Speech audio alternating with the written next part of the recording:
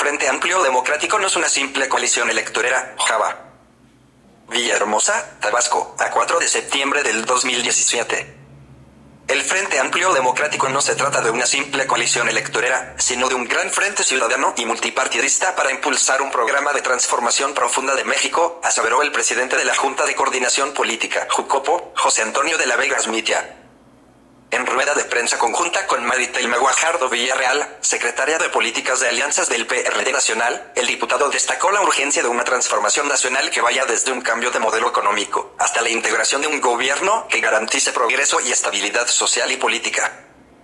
José Antonio de la Vega llamó a todos los actores políticos a seguir haciendo esfuerzos para constituir una gran alianza que genere condiciones de desarrollo sostenido en todas las regiones, pero principalmente en el sur, sureste, que es donde se encuentra la mayor concentración de pobreza y desigualdad social. En ese sentido, sostuvo que el Frente Amplio Democrático que pretenden conformar diversas fuerzas políticas busca la construcción de una nueva realidad política y social que represente la pluralidad democrática del país, pero sobre todo, que genere condiciones de progreso nacional.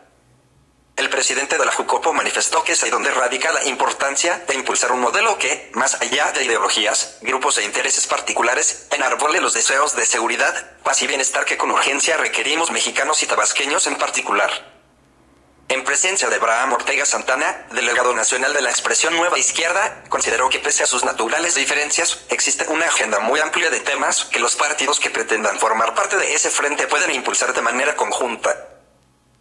Se trata de una simple coalición electorera, como sucedía en el pasado, sino de un proyecto con compromisos programáticos y políticos que busca impulsar una agenda en el que coincidan y todos se comprometan llevar a cabo, de cara a la nación, reiteró José Antonio de la Vega.